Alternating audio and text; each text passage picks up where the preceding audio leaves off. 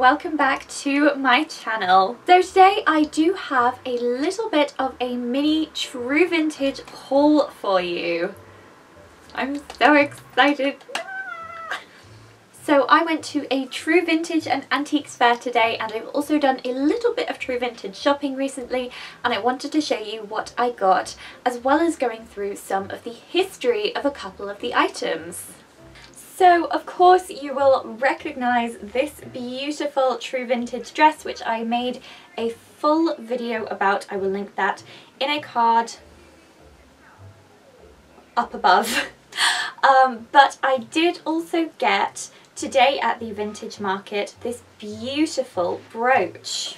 This is a true vintage 1950s I believe piece I didn't get the exact era from the seller, but um, I know it was vintage and she did have a lot of 1950s pieces, so I'm kind of just assuming, although it's not very typical of that era, so I think it might be maybe 40s or possibly even 30s, I'm not sure, but it is beautiful. It has this kind of gold lacquered appearance in the center with this beautiful pink rose design and it looks absolutely perfect on this dress.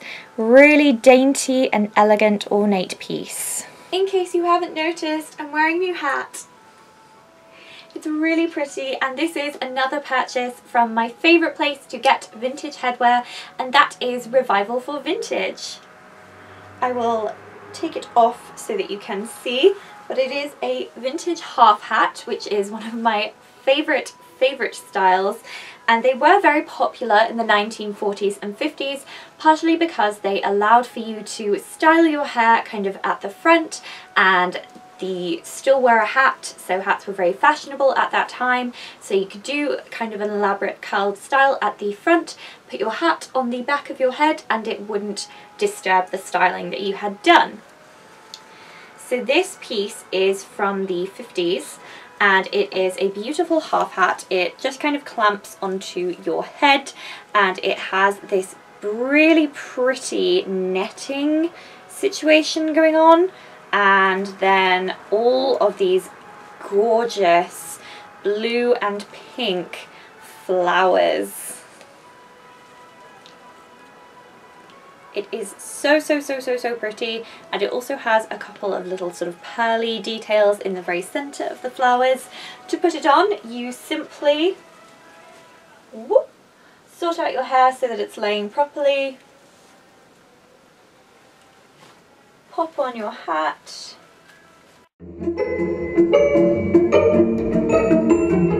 There you go. As you will know if you watched my last video, I do have to wear this true vintage dress because it is completely sheer with a slip. So I got two new ones, well new to me, they are both from the 1950s and 60s and one I am wearing right now. You can see it in a reel on my Instagram so I will leave that link in the description below but the one that I am not wearing is this one it is really pretty lilac. I love the colour lilac. It's so beautiful. And it comes to just above the knee, nice and slim fitted, and it has sheer lace cups along the front and adjustable straps. So you can wear this underneath any dress of your choice. It's also really good to wear if you are wearing a corset or some kind of shaping garment to wear a slip underneath so that the um, foundational garment isn't directly on your bare skin because you should never wear corsets directly on bare skin. They were never historically worn on bare skin. You always had a slip or a shift or a chemise or something underneath because otherwise it's A uncomfortable and B you're getting all of your sweat and stuff on the very hard to clean garment rather than this which can just be hand washed or tossed into a washing machine so little bit of fun history fact for you there as well. This beautiful true vintage slip is from Amore Bridal, which I will also leave a link to in the description. So we absolutely have to talk about this incredible, incredible set that I managed to get my hands on today.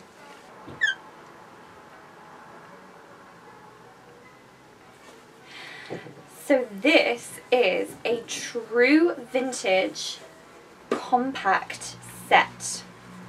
And this is the original box that it came in. So beautiful. And when you open it up, this is what we have inside. So in this beautiful, beautiful set is a compact mirror.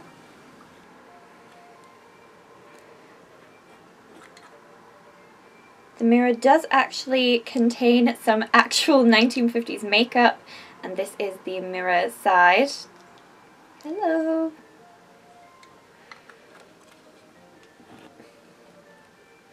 On the back it says Polvo Macchiator Maquillador and Barcelona, España and it has the brand name here. The very first powder compact, a little fun fact for you here, was created during the reign of King Louis XIV by French perfumers during the 17th century. These then moved across the channel into the hands of English jewellers. However, it wasn't until the 1920s, with the rise of more acceptable makeup wearing, that these sort of cosmetic compacts began being produced en masse. So the next thing in this set is this beautiful scent bottle. Now this does actually have the remains of a little bit of perfume in it. You can smell where the scent used to be. And it smells really good. It does smell like old person, but I think that's just because this is the kind of perfume that was popular during sort of the 50s and 60s, so of course we associate it with old person, if you know what I mean. Um, but it's really, really beautiful little shape has a gold, has a pearl, and I might, I'm undecided as to whether I'm going to clean this out and use it or whether I'm just going to leave the scent that was already in it in there and just have it as decoration. The next is this beautiful lipstick holder. How stunning is this? So it has a gold finish with a silver bottom, diamantes around there and also on the cap. Oh, it's so pretty. And if you are makeup savvy, you can actually, because it is a dial-up lipstick tube in here, transfer one of your modern lipsticks into this lipstick holder. I know Dita Von Teese, I have her book Your Beauty Mark, she says that she does that with a lot of lipsticks. She will take a modern lipstick and put it into a vintage lipstick holder. The final thing in the set, if I can get it out, is this little, whew, I think it's an eyeliner holder. And it just looks like this. It kind of looks like my Bésame lip brush. I think there might be a little bit of damage on the very top of the lid there. I don't think that's supposed to quite be like that, um, but that's okay. This beautiful box and set is by the brand Myrna Pons. I will place that here on screen so that you can decide whether I'm saying it correctly. It is a Spanish brand and I am going to now insert a small little montage telling you a little bit more about the history of this brand. The origins of the Myrna Pons brand date back to the end of the 19th century in Granada, where the Carrasco family was dedicated to producing perfumed waters and essences. In 1912, they moved to Barcelona and opened a perfume store in the street Nou de la Rambla. Back then, the perfume came in bulk and it was the saleswoman who perfumed the customer, who paid for a few grams. At the end of the war, Ramon Pons joined the business, which gave a big turn in the marketing of perfumes and thanks to which the brand Myrna Pons acquired a reputation in the world of perfumery. This innovative perfumer introduced a new way of presenting the perfumes. He dressed them with elegant jars decorated with jewels and golds, with eye catching plugs in luxurious cases with mirror and satin. Its success was resounding as a simple perfume in bulk became an elegant and distinguished gift, highly appreciated by visitors who visited the city. The star perfume was number one, known for its crown cap.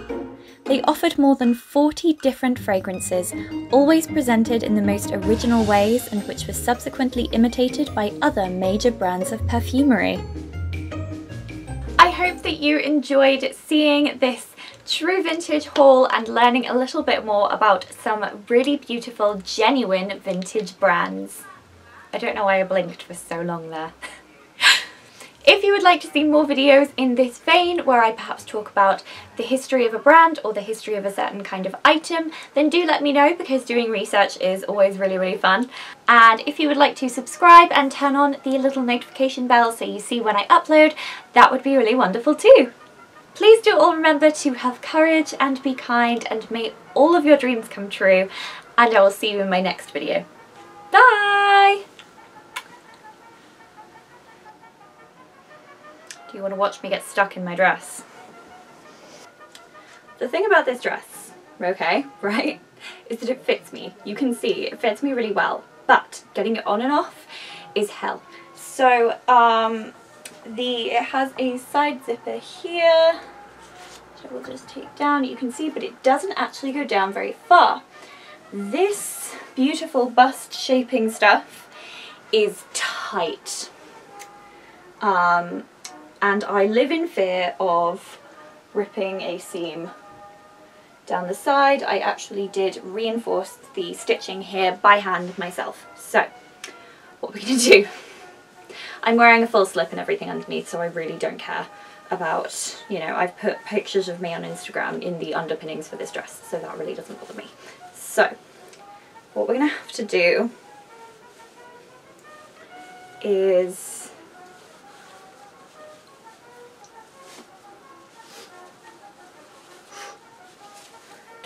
So the underbust thing is now under my armpits. And I think I'm stuck. Right, okay.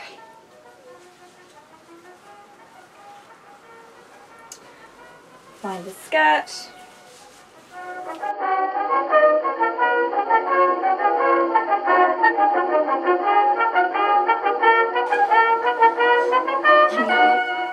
Oh! And then the arms invariably stuck. Let